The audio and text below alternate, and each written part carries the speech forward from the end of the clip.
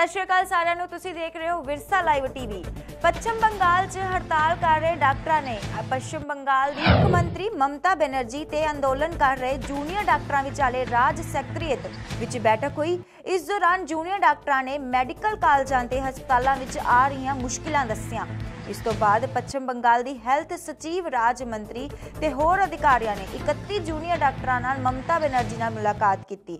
ਬੈਠਕ ਤੋਂ ਬਾਅਦ ਮਮਤਾ ਬੈਨਰਜੀ ਨੇ ਡਾਕਟਰਾਂ ਨੂੰ ਹਸਪਤਾਲਾਂ ਵਿੱਚ ਸੁਰੱਖਿਆ ਦਾ ਭਰੋਸਾ ਦਿੱਤਾ। ਇਸ ਤੋਂ ਬਾਅਦ ਡਾਕਟਰਾਂ ਨੇ ਆਪਣੀ ਹੜਤਾਲ ਖਤਮ ਕਰ ਦਿੱਤੀ। ਦਿਨ ਭਰ ਦੀਆਂ ਹੋਰ ਖਬਰਾਂ ਲਈ ਦੇਖਦੇ ਰਹੋ ਵਿਰਸਾ ਲਾਈਵ ਟੀਵੀ।